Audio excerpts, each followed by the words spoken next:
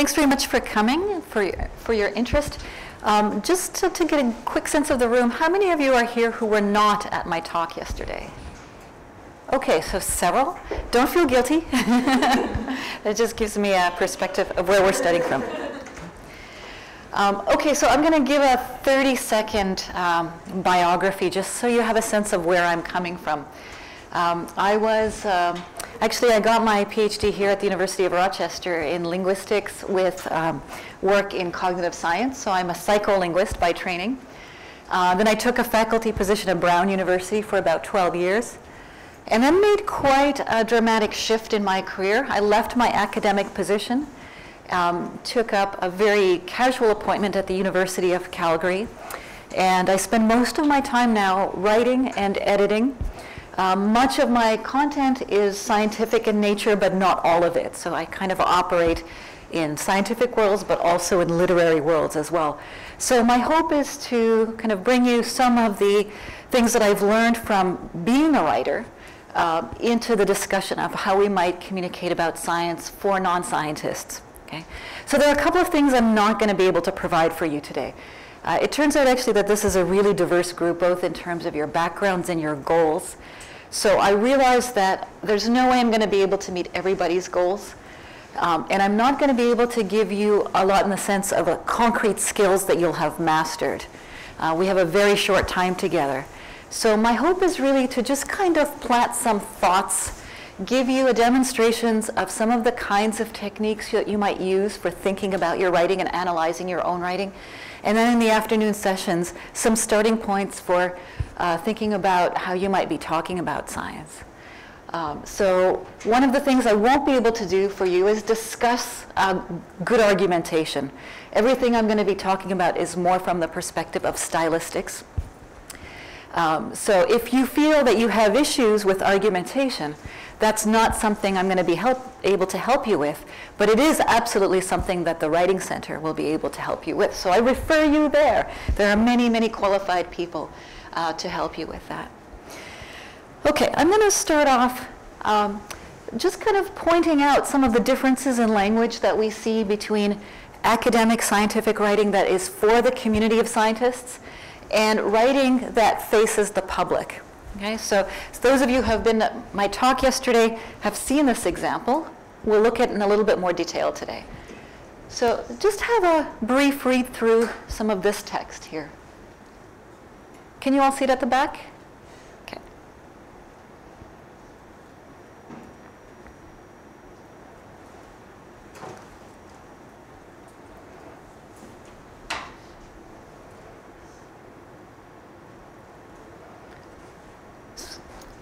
So I'm curious to know, what are your responses to this? How, do, how does it feel to read this?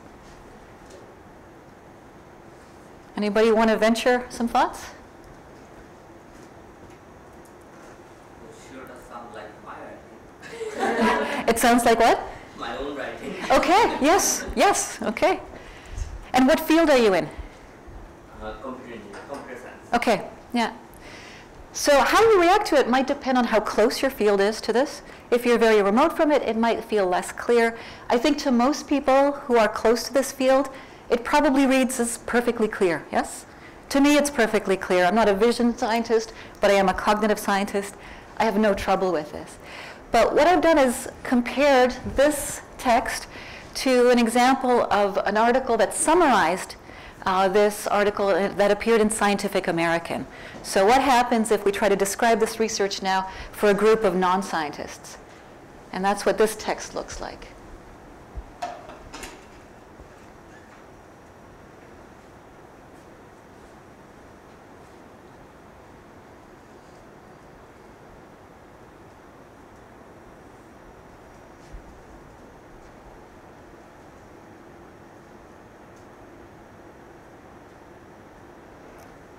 So how does this feel to you to read?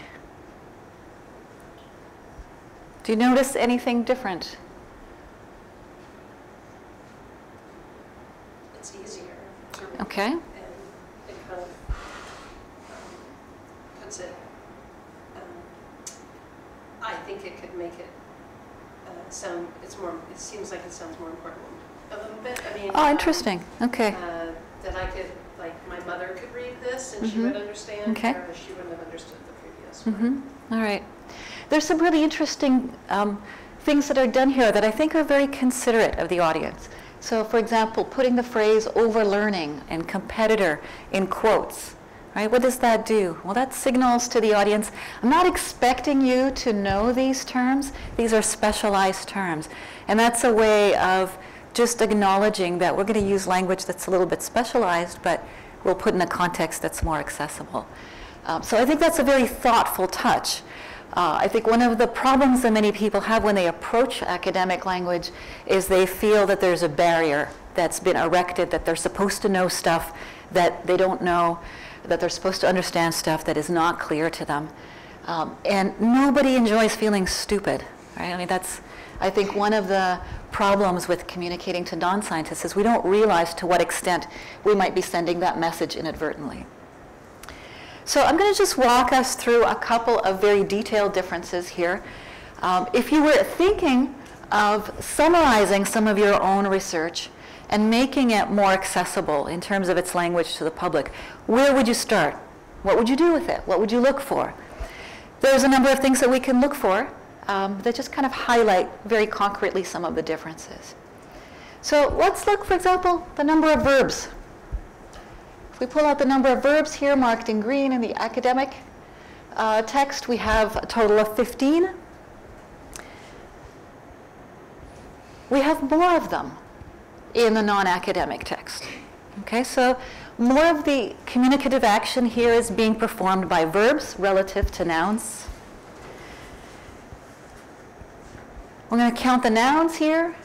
We've got 37. So we actually have um, slightly more here. It's a bit longer text. So we don't see a dramatic difference in terms of the number of nouns, certainly the ratio of verbs to nouns we do. But what do you notice about these nouns that might be a little bit different from what you saw in the earlier text?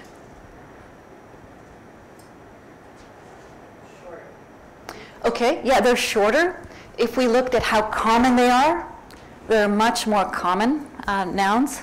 Yes, Marion? More of them are grounded with adjectives, like movies, images, or old TV. Okay, more, more visual, more concrete. Yeah, absolutely. In fact, if we look at the distinction between abstract versus concrete nouns, and here I've used kind of a, a generous notion of concreteness because subjects I count as concrete because you can poke them, but notice that they're subjects rather than people by virtue of an abstract relationship to something, right? So even the, even the one concrete noun here is um, still has a level of abstraction to it. Very, very different if we look at this, right? Many, many more concrete, visual, sensory kinds of um, nouns going on. So that's one of the dramatic distinctions between academic and non-academic writing. Uh, what do you think that is? Anybody want to generate some hypotheses? The concrete is available to all. The concrete is available to all. Can you expand on that maybe? Uh, they are things that are much more familiar to most. Mm-hmm. Okay. And they're grounded in experiences that are kind of easy to comprehend, right? Um, the academic language uses abstract language that's been developed to have a very precise meaning that we understand, but that we've gone through kind of a communal process of defining for each other.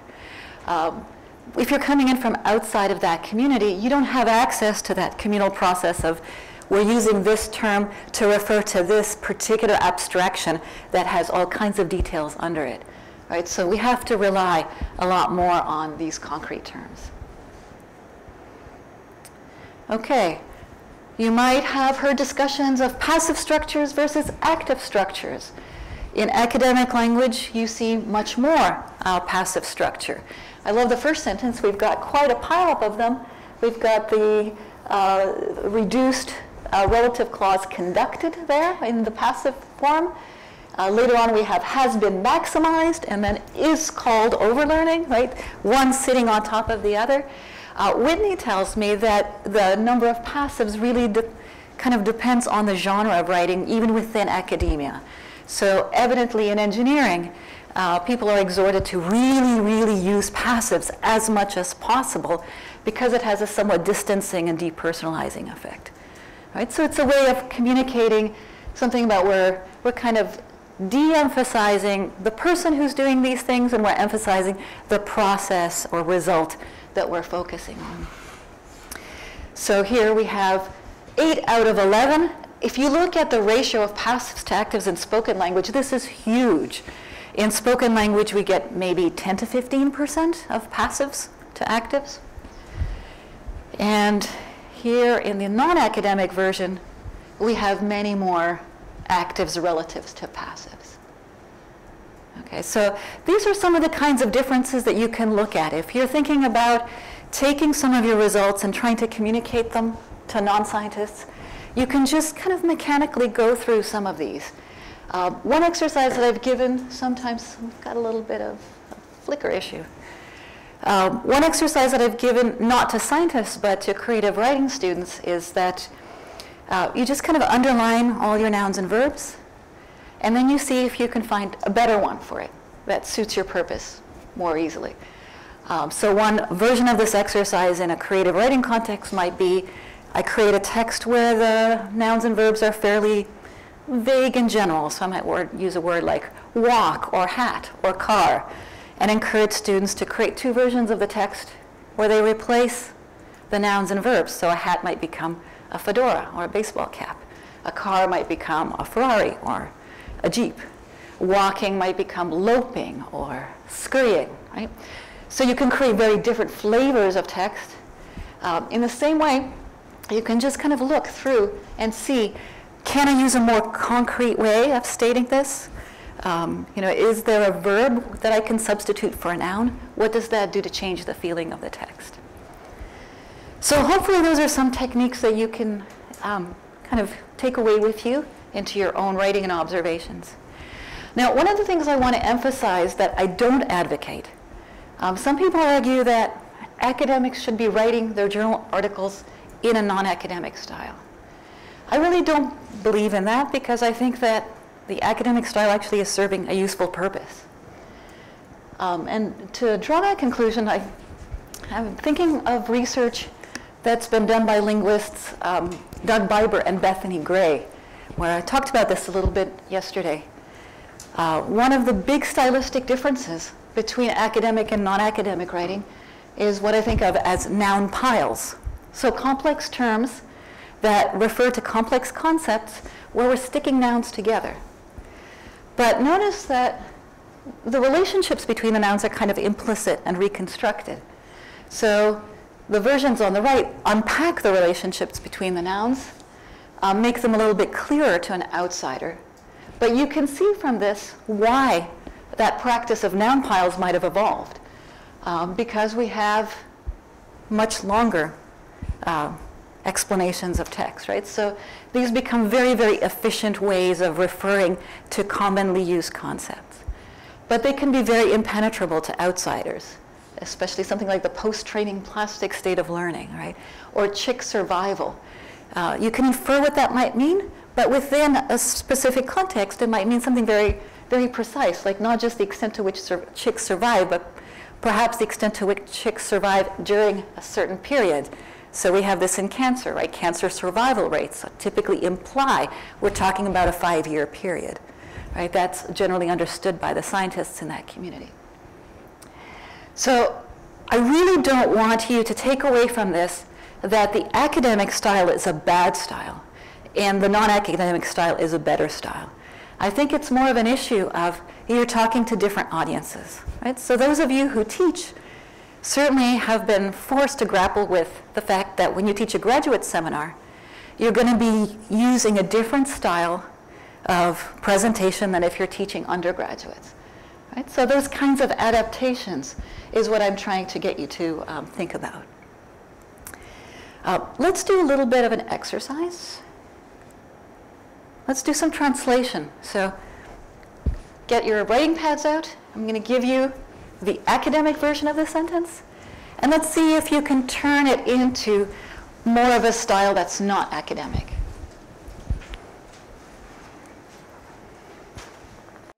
So you may find that when you're communicating to non-scientists, that you want to be sensitive to meanings of words and their implications that maybe don't come up within a scientific context. So I'm really glad you caught that. So normal, that might have the implication of better somehow or standard, right? Um, even within the scientific community, we kind of grapple with that. So, what are alternative ways that you might express this notion instead of normal? What other words can you think of? Typical. Typical, yeah. Most frequent, yeah. Typical is, is one that's often used. Exactly. But yeah, that's another thing that is really valuable to do is when you kind of go through and underline your words, is to consider are there some words that might be interpreted in a way that I really don't intend. Okay, so these are you know some tools that you can take with you to uh, think about making your writing a little bit more accessible, breaking down some of those barriers that the language introduces. Um, and this kind of focuses on the process of translating your scientific writing into your uh, other kind of writing. I find this actually really hard to do. So one of the interesting findings of Biber and Gray was that the style of language that is typical of academic writing um, is something that's learned. So when they looked at uh, students who entered the sciences as undergraduates, they found that they began to more and more closely approximate the style that was typical of their field over a four-year period. So the good news is that for those of you who are less experienced in science, you're going to have an easier time breaking away from some of these patterns and considering alternatives. For someone like me who was really steeped in it for decades, I still have an enormous difficulty. And often when I'm writing a piece for a non-scientist audience, I find that I get to a point where I might have done a beautiful lyrical introduction, I'm really happy with the language, and then I hit the part where I have to describe the experiment. And often my first attempt looks like the scientific writing, and then I have to go back and do this very conscious revision process. And I've learned not to panic when that happens, right? I, I know I'm unhappy with the language as I'm writing it. I know it's sounding not right. And then I go back and think, like, can I just change a word here? And often it's that, or adding a sentence to break up the density of the description. And that can have a huge impact on the flavor of the text. Uh, but one of the things I want to really prompt you to think about is that when you're thinking about how to communicate to non-scientists, I hate to break it to you, but you're probably not going to be able to just take your latest research results and continue to feed them out to the public and expect them to be enthralled. All right? So there might be other things you, that you talk about other than your research results. You might be talking about other people's research in the context of yours or with respect to some issue. You might be talking about the process of science, which I think is really, really important. And for those of you who had time to work through some of the uh, readings that I suggested, uh, there's one example uh, of the physicist who was actually trained here in Rochester, uh, where his description is not, a, not so much of the physics or the products of his research as his experience of the process of being a physicist and being trained as a graduate student. So I really want to kind of open up your thinking about what is relevant to other people about your experience as a scientist. Uh, and not simply thinking about th this as a translation exercise. That can be very useful, right? It's certainly, I think, a very great skill to have. But I think there's a whole space of conversation that could be really enriched if scientists think about what is it about my experience that I can bring to other people. So some of the workshops in the smaller groups will really focus on getting you to think about what content you might want to be communicating to other people. Once you do that, once you kind of step into that zone, I think um, something that empowers your writing to a huge degree is the ability to infuse it with some individuality. Right? And this is something that's very distinct from what we're taught as scientific writers. We're taught to adopt a communal voice, and I think for some justification. Um, but if you want to think about connecting with readers outside of that community, you look at the kind of writing that exists in the non-scientific world. And its power derives very largely from the fact that it's really presenting a unique, specific human mind that thinks in a particular way, that expresses itself in a particular way. And not every reader is going to respond to that. Just like you don't love all the books that are out there, but you love some books, not just because their topic, but maybe because of their voice or their approach, right? So you might think about, do you have favorite writers that you will pick up a book by them regardless of the topic? So that really kind of speaks to the fact that you're connecting with that mind and you want to learn more from that mind. So let's look a little bit at some examples of uh, still writing about science, but now that sort of steps out of this project of I'm translating the product of my research and doing something a little bit different. And we, what we're going to see is that the palette of options just really opens up. So it's not just more transparent versions of the academic writing. It's really a language that's infused with very different personalities. Okay, so here's an excerpt from a piece that was written for the New York Times.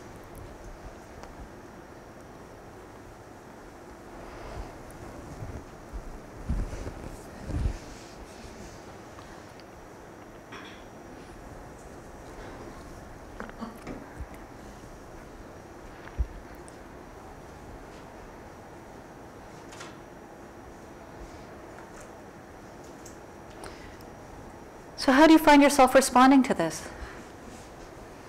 Yeah. It's comical, okay. I noticed a lot of people smiling or chuckling, yeah.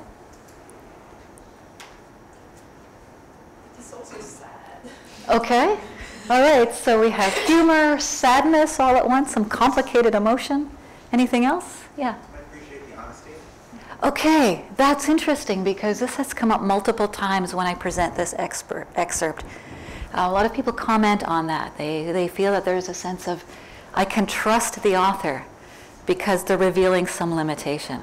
I think that's a really, really interesting lesson to take away from this, especially for us as scientists, is that we might often feel that it's very risky to reveal the limitations of our science in an honest way. But in fact, this does something quite positive. Rather than turning away from the writer, you feel you want to approach the writer. Yes, well, there was, yeah. I want to add that it's interesting that it's basically negative emotion kind of as a hook, in a way, Mm-hmm. which is really unusual. And I think that's why they're Okay. also responding to the honest. Yeah, okay. Yeah, yeah. Uh, notice how much it violates expectations, too, right? So the first sentence this article contains no useful information. that violates your most basic expectation about what an article will contain. And paradoxically, it hooks you in, right? It's like, oh, that's weird. So I'm going to read some more about that. Okay, let's look at another example.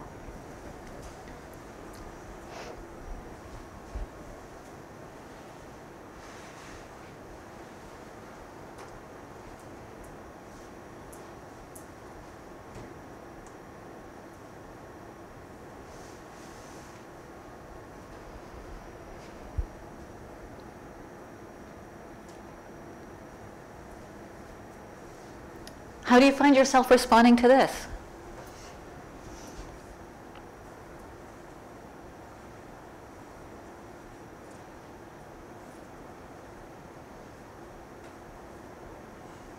It's exciting. Okay, what is it about it do you think that makes it seem exciting? The sense of space and motion that it conveys. Okay, so presumably some of that's coming from the sensory language that's here, yeah. Any other responses? Yeah, Wednesday. I find it very annoying. Okay, good. What, what about it annoys you? Just using those weird low frequency words to like feel really fancy. Okay, uh, all right. Okay, so just out of curiosity, how many of you have a positive response to this? I do, I like it. How many of you have a negative response? I didn't understand Okay. All right. So uh, this is great because it really shows you that you're not going to resonate to all kinds of writing. And that's something to consider in developing your own style, right? Is pay attention to the kinds of things you enjoy reading that says something about what draws you to it aesthetically. Uh, so I think this kind of aesthetic is very interesting because it's a way of creating community. Um, I should kind of clarify that when I say we're writing for a general audience, that's really a very bad way of phrasing it because we're not writing for everybody out there, right, out in the world. Really, we're writing for specific communities that we might have implicit in our minds, maybe that we haven't thought about, but that we just kind of, the, the writing is shaped towards some people, but not others. Um, and often those communities are created out of interest in a topic, but they can also be created out of aesthetic response. Right? So if you find your taste veers towards language like this, then language like this signals, I'm presenting this material to that community of people who enjoys this particular type of writing. That might not be you, right? So do not attempt to write this way if you don't like it. really find the things that you enjoy. Uh, were there other comments here? Okay. Very different example.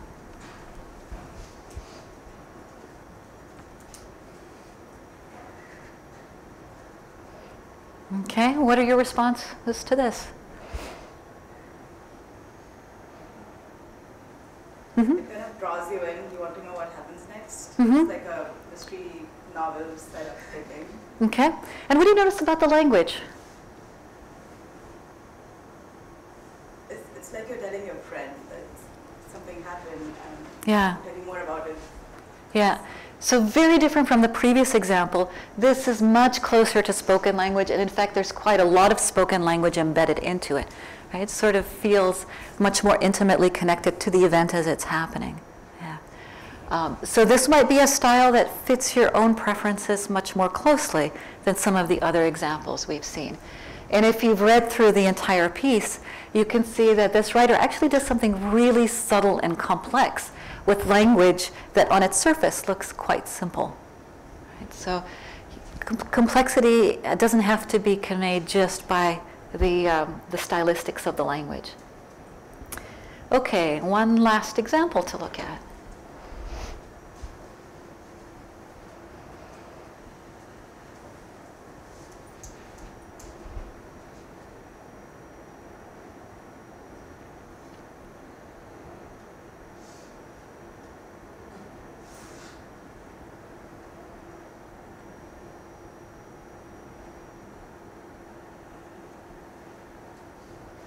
Any observations about this example?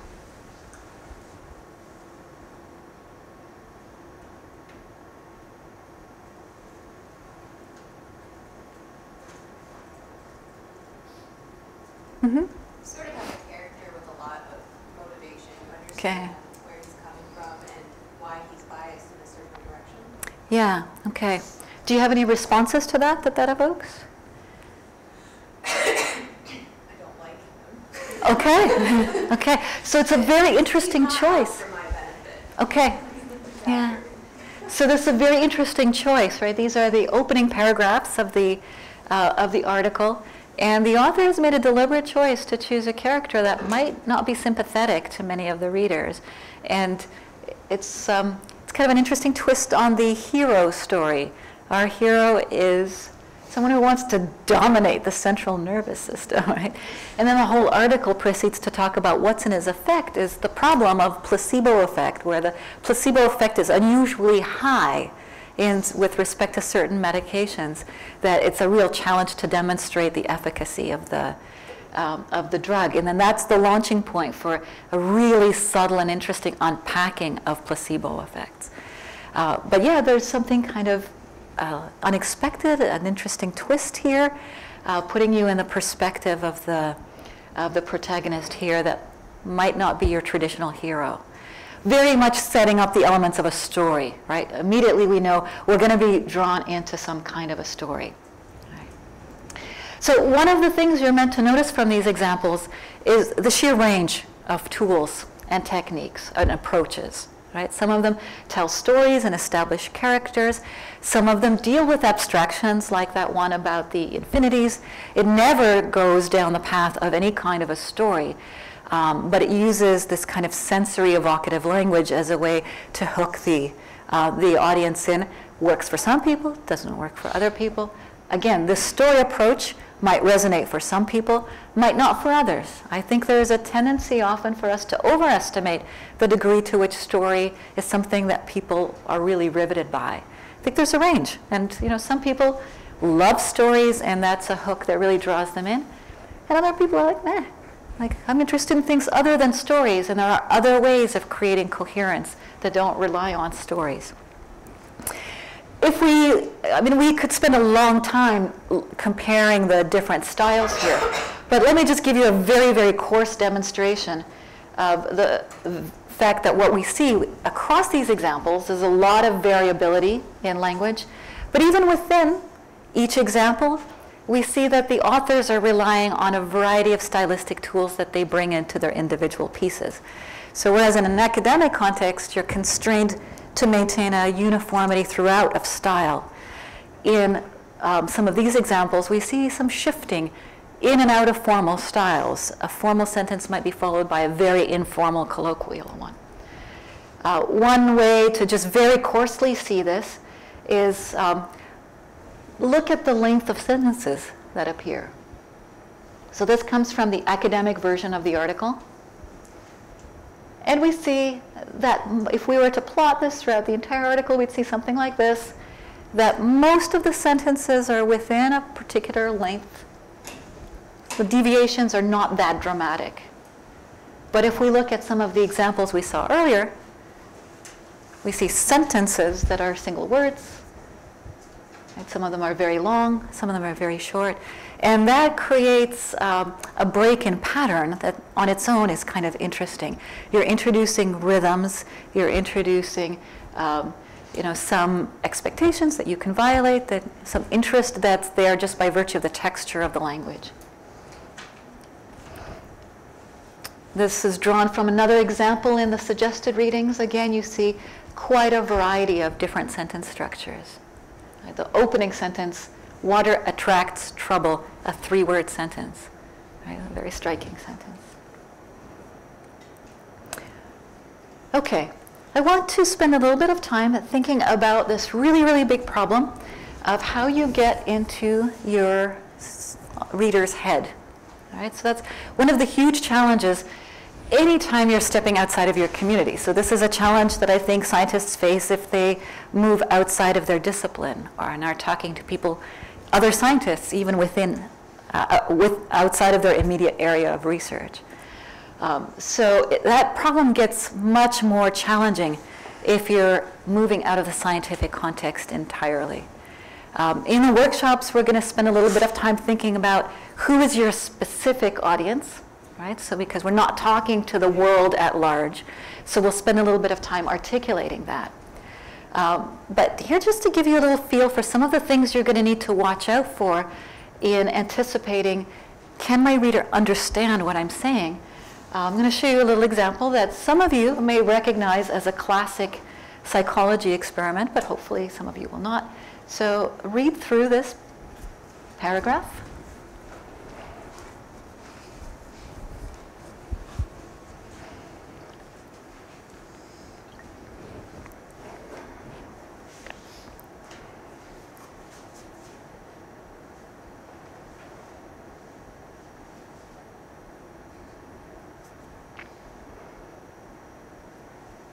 How does this seem to you? Can you understand it? Why not? Are there words that are giving you trouble? Can you understand other words? What's, what's causing the problem? Don't know what it's about. Don't know what it's about. Why not? Sorry? Okay, there's no, and the problem is that the words are so vague, right? They can stand for, mm, you have no way of filling them in. Now, let's try this. Read it again.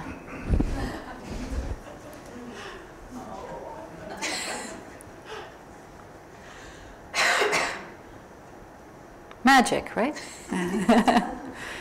All right, so this is a demonstration of how reliant we are on our background knowledge to give content to language, right? So uh, it's rarely the case that we fully specify everything.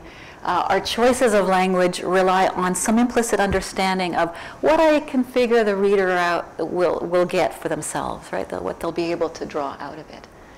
Um, so, you know, this still is incomprehensible to people who have never done laundry. and there are such people in the world. Now, what I want to suggest is that the experience that you had without the title may be very similar to what a non-scientist experiences when they read this, okay? So, I mean, the words here are harder to understand, so sometimes they really pose a barrier. But even when you understand the words, you have a hard time figuring out, like imagining what is happening in the world that is linked to these words. So continuous training, we know that there's some kind of training that has happening somehow continuously, but what does that training look like? Uh, and what does it mean to be continuous? Are we talking about continuous over a period of months on a daily basis? Are we talking continuously within a five minute period? Right? That's, those are details that we're just not able to fill in or something like a visual task. Okay, very vague. to vision scientists, they might already have a very elaborated sense of like, oh, okay, these are the standard visual tasks, and I fill that in in that slot. So pay attention to this, and that's one of the difficulties with using abstract words, is that often they come across as very vague, even though you have a really specific meaning for them that is shared with other scientists. So, you know, make sure that you're not creating a doing laundry problem for people.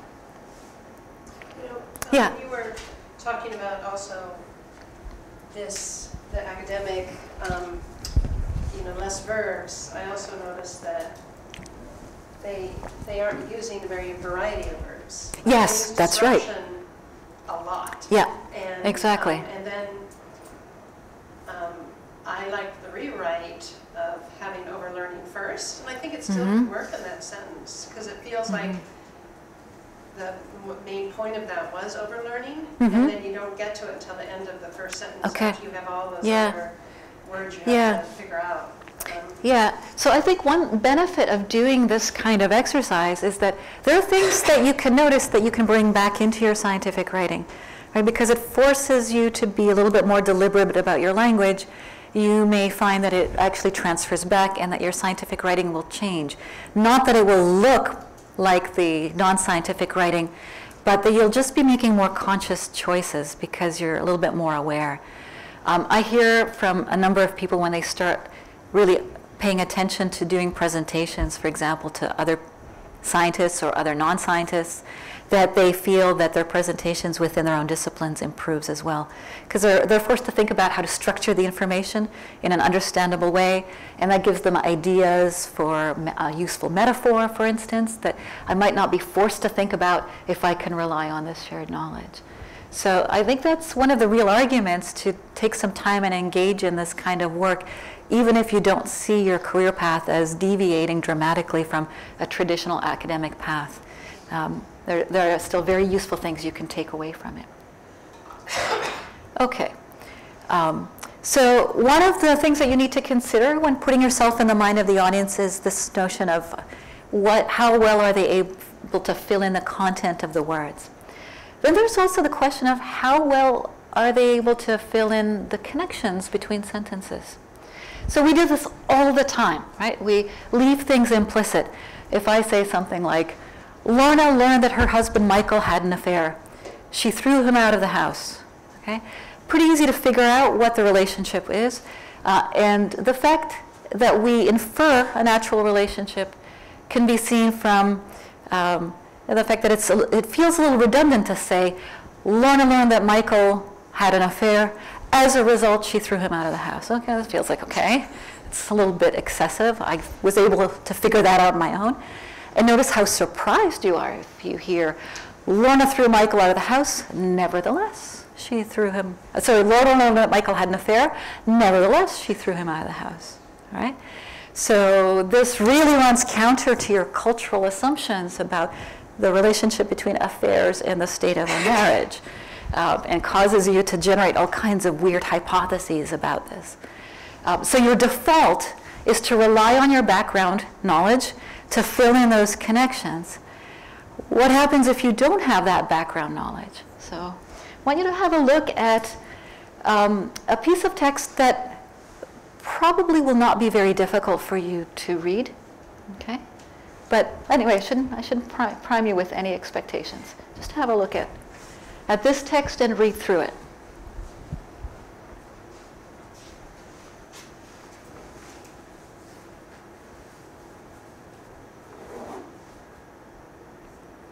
So how do you find it?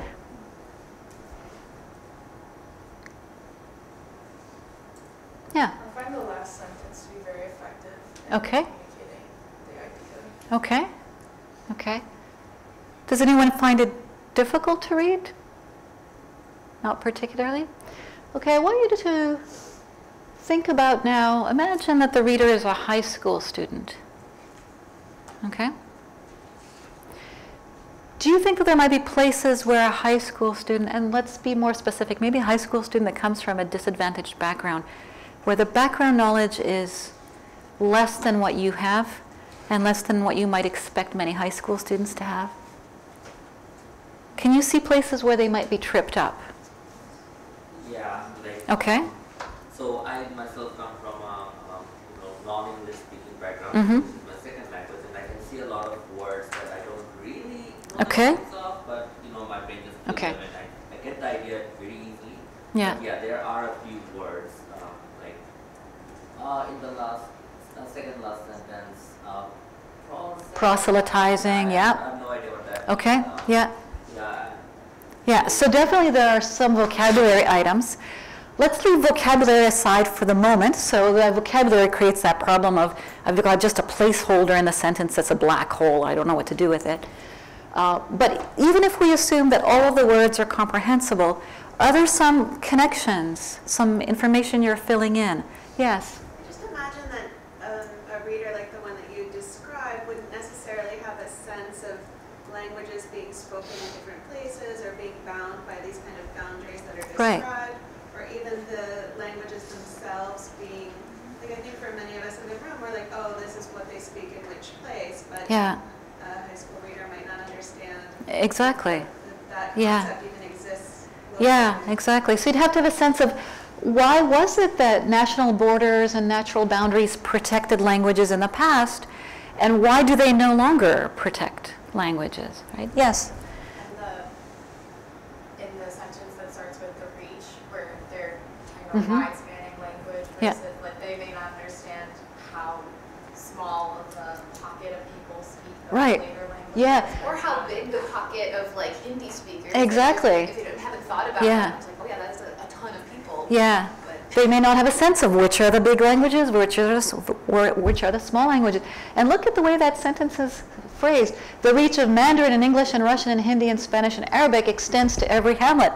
Like literally, that could be interpreted as all of these languages march into every village of the world, right? Obviously, that's not how we read that, but we're relying here on our knowledge of geography and the distribution of languages around the world. Yeah. I think even the last statement, the prosperity, it seems, speaks English is really, assuming that people understand how language can really help you move forward in life. Mm-hmm. Which I think as a high schooler, I didn't have that concept Okay. of how, like, how good your English Yeah. can really guide what schools you can go to or Yeah. how far you can ahead in life, which is something that you don't think about language as doing, and maybe that is Exactly. not supposed to be its purpose, but it has become its purpose. Right. And what is the connection with television? Right? Why is the arrival of television linked to prosperity and English? Right? So there's a lot of inferencing that has to happen here. Um, so this is a really useful exercise because for most of us this text is not that difficult to understand.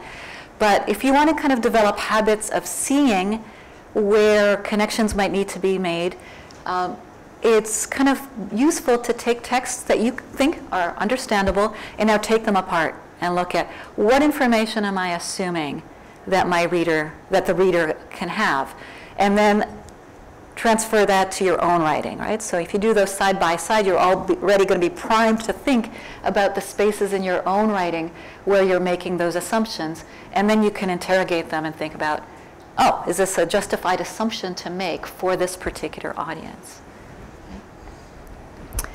Um, it's also, I think, really useful in the context of debates about reading skills. So, um, you know, most of us, I think, would say that we would like high schoolers to be able to read a National Geographic magazine. Um, and if they can't, if they don't have the domain knowledge to do that, right, that can be a huge barrier to reading certain kinds of texts. All right, what have we got next? Okay, I'm going to skip through these. That's just another version of what we just did. I think we're getting a little bit close to the end here. Um, this is a slightly different um, issue that comes up again related to the question of getting in your reader's head. So have a read through this.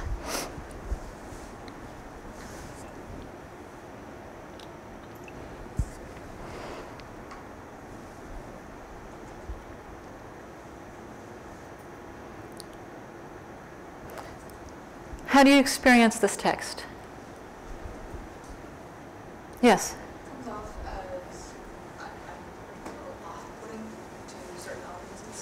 Okay. backgrounds, as opposed to taking into account different backgrounds. Okay. Is there something specific that you can point to that? Um, just talking about, um, in the second paragraph where some acknowledges power in writing, allows Mhm. them to have that power, but Mhm. it kind of ignores whole traditions oral history, Okay. oral. Okay. Yeah. Still very powerful and all. Yeah, yeah. So it's got some of the same issues before, but I want to draw your attention to uh, something very simple. Now read the version of text that has this.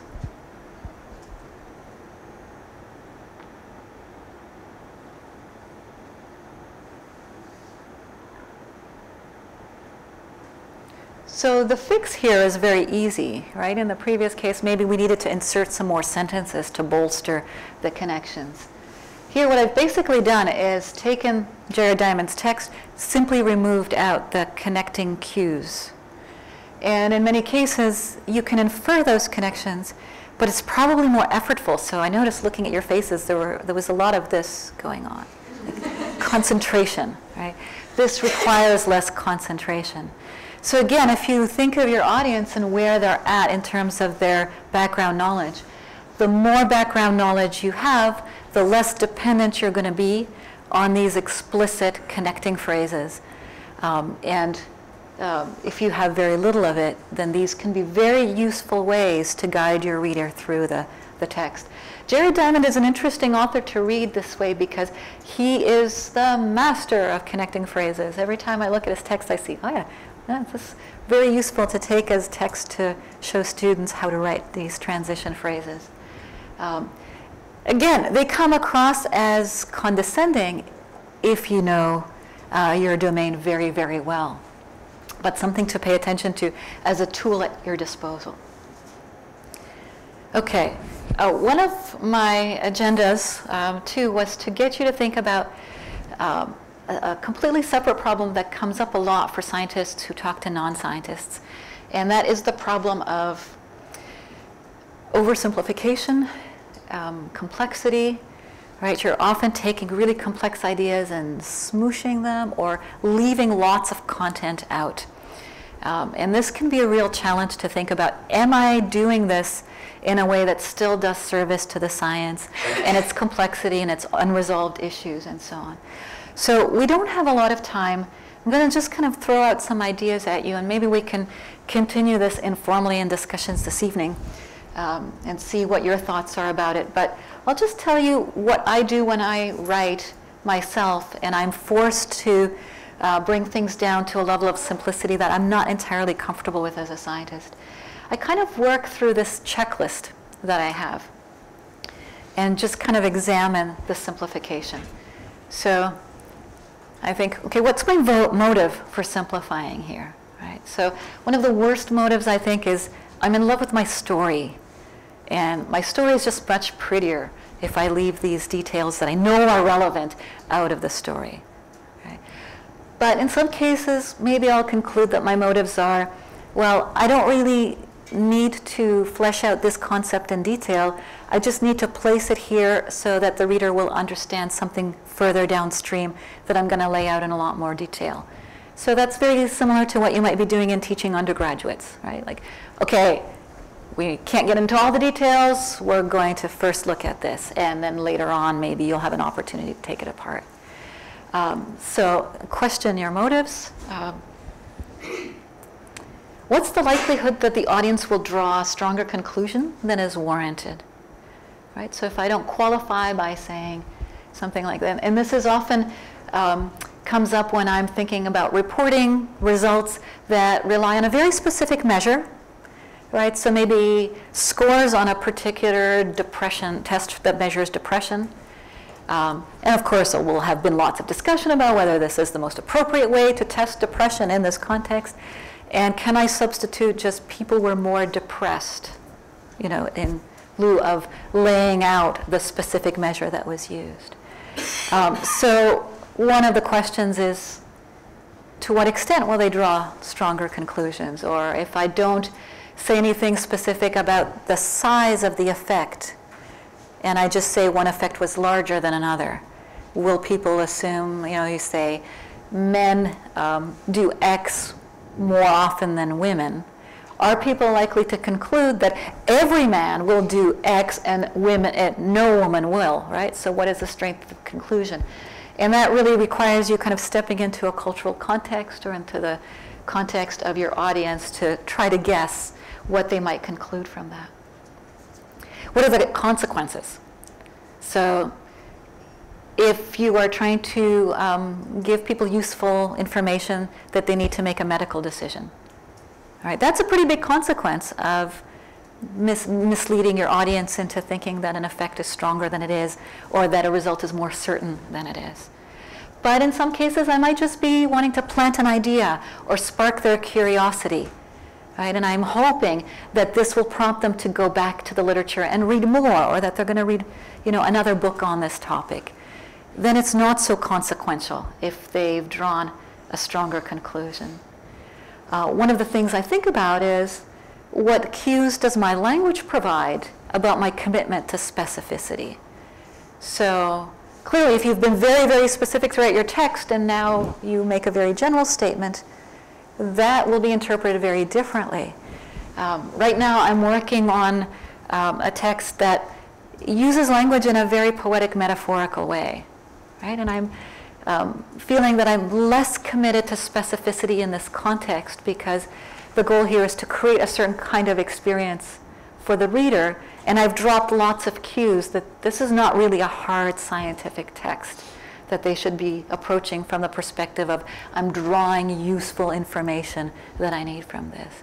Right? So it's sort of like if you if you read a book that's surreal or watch a surreal movie, it's very rare that something really bizarre is going to happen immediately. Instead, you get these little subtle cues along the way that alert you to the fact that, okay, there's something a little off about this world, right? So this often happens in science fiction movies. You, they establish a world that's similar to ours. Oh, there's something askew, and then the weirdness builds, right?